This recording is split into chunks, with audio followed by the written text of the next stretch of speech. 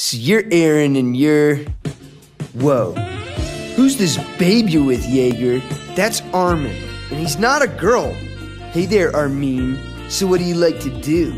I like to read. Uh, okay. Why? Because books teach me useful things. Like what?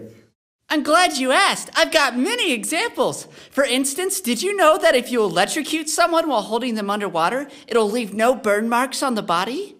No. You do now. And that's the power of knowledge. So, like, you want to take a bath? Together?